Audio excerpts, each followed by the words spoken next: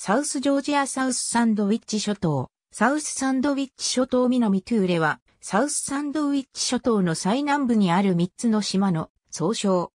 ベリングスハウゼン島、クック島、チューレ島からなる。イギリス領サウスジョージアサウスサンドウィッチ諸島に属している。1955年、チューレ島のファーガソン湾近くのコルベタ、ウルグアイ半島にアルゼンチンはテニエンテエスキベル港を設立した。しかし、翌年1956年のクック島における噴火により避難を余儀なくされた。1976年の11月、アルゼンチン空軍の部隊がチューレ島に上陸し、イギリス政府に知らせることなく、兵舎とコンクリート製のヘリポートからなる小さな軍事基地を建設した。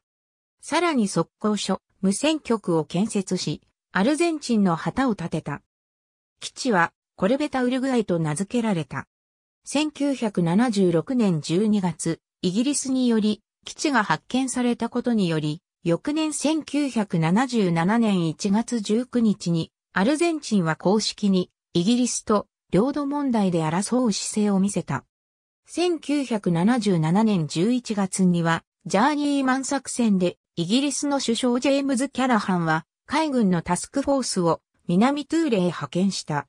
1978年にアルゼンチンは基地の存在を正当化しようとしたが失敗に終わった。その年、外交を考慮し、キャラハンはタスクフォースの派遣を取りやめた。1982年6月20日、アルゼンチンがフォークランド紛争に降伏した6日後に、南、トゥーレのアルゼンチンによる占領は幕を閉じた。ありがとうございます。